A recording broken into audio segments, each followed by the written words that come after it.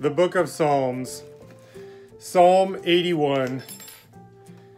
To the chief musician upon Gittith, a psalm of Asaph.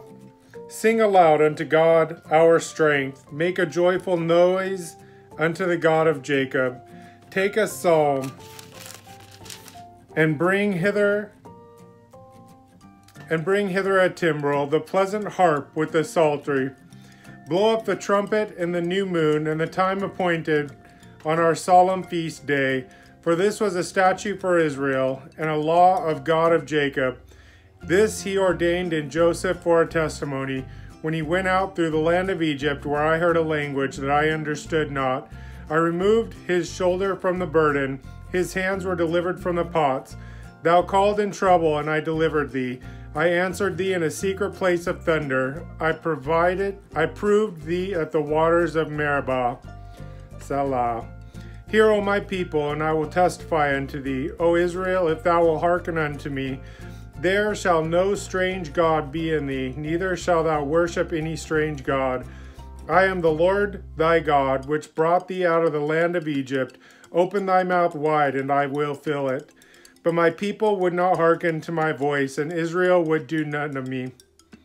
So I gave them up unto their own hearts, lust, and they walked in their own counsels. Oh, that my people had hearkened unto me, and Israel had walked in my ways. I should soon have subdued their enemies and turned my hand against their adversaries.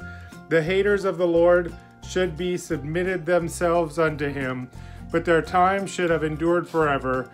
He should have fed them also with the finest of wheat, and with honey out of the rock should I have satisfied thee. Psalm 82, a psalm of Asaph. God stands in the congregation of the mighty. He judges among the gods. How long will you judge unjustly and accept the persons of the wicked? Selah. Defend the poor and fatherless, do justice to the afflicted and needy, deliver the poor and needy, rid them out of the hand of the wicked. They know not, neither will they understand. They walk on in darkness. All the foundations of the earth are out of course. I have said, You are gods, and all of you are children of the Most High.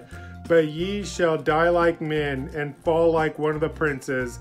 Arise, O God, judge the earth for thou shalt inherit all nations.